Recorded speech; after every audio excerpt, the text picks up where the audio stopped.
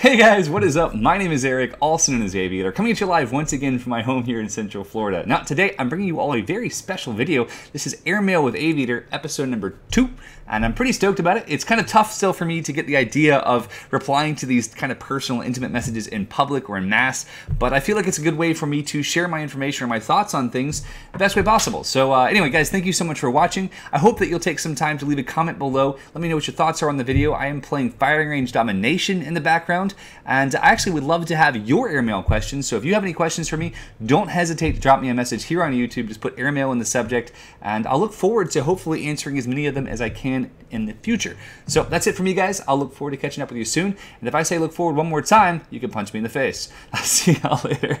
bye bye. All right, guys, welcome. I want to bring you our very first piece of airmail this week. I'm not going to read the whole thing, but I will pick up the very last few sentences, which actually made my heart sing just a little bit. This user says, but yeah, I love your videos. You are my favorite commentary. Now I love Music Mondays. I told my girlfriend about Peter Katz, and she liked his songs, so we made out. Thanks. That was my first kiss. Oh yeah, and I'm definitely going to subscribe with the new account too.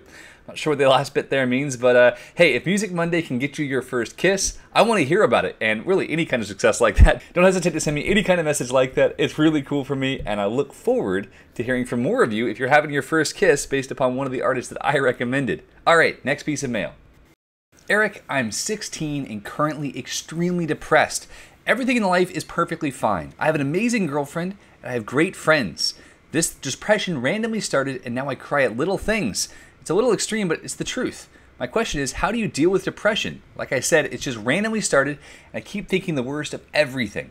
Thank you so much for your help. While I've never been diagnosed as clinically depressed myself, like many Americans and people around the world, in fact, I have been affected by it intimately. Women I've dated, along with family members and friends, have all been depressed. It's a very common thing these days.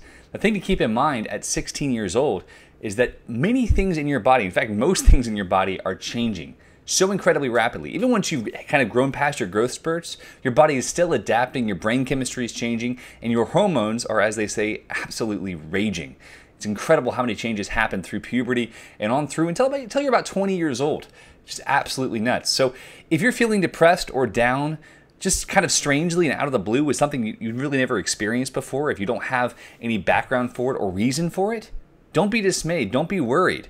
I, I really truly believe that a majority of issues like this pretty much work their way out of your system by the time you're through college. All I can encourage you on personally is to try to look at the brighter side of life and try to find ways to see the joy in things. Because even though I've not always had the easiest life, I've done all that I can, even through the tough times, to look at the happier side. Not to look at what has brought me through, but to look at what has brought me to. Because the end result, the joy in life, is so much more important. And uh, it's kind of a tough question to answer, but I hope that this answer helps you a bit. And I hope that you're able to start looking at your body as the implement that it is. And that if it's changing, it's okay. It may not be your actual brain, it's just your hormones talking.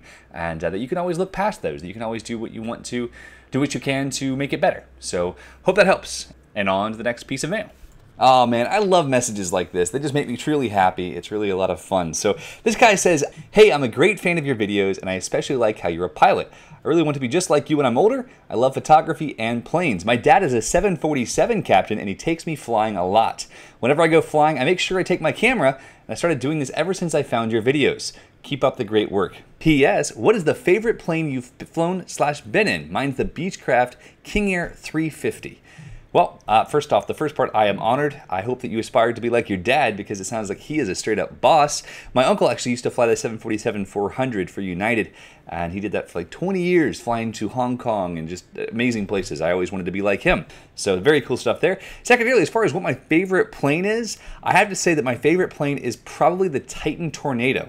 It's not the best plane I've been in, it's not the greatest plane I've been in, but something about it has just left its mark in my heart, probably because it was the first plane I ever soloed. So, it's the first one I ever flew by myself, and I, I just had this love affair with it. Here's a picture of it, you guys can see. It's, it's lovely, it's happy times, and uh, as always, Thanks for sending in your little piece of airmail. I do appreciate it. Hey Eric, I'm currently a junior in high school. Recently, I've been questioning if I was really good or special at anything. I've always been average when it comes to school, sports, girls, friends, and even COD. Also, my parents are not very supportive or encouraging at things I try. Going into college soon, I'm afraid of not knowing what to do. I was wondering if you went through anything like this and if you could help me out. If you could reply or even answer this on airmail, if you think others are facing this issue, that would be great. Thanks, Dan.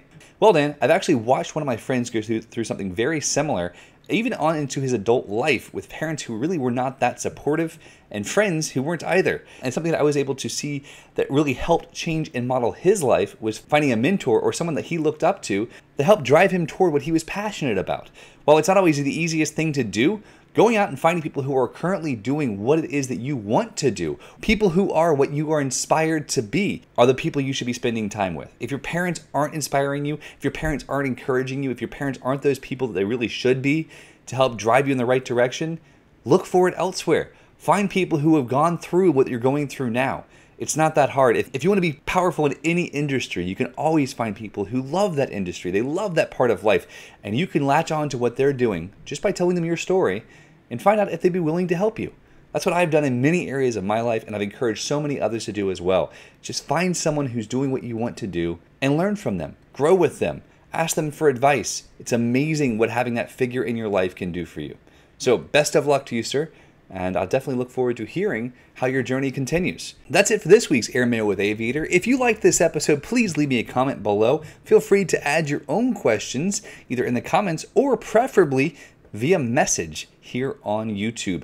Guys, I really do appreciate all of you spending your time here with me. It's such an honor to be in this position to talk to you guys, to answer questions, just to, I don't know, have this relationship. It's, it's a joy. So guys, thanks again. I hope you have a great day. And uh, again, I'll talk to you soon. See you later. Bye-bye.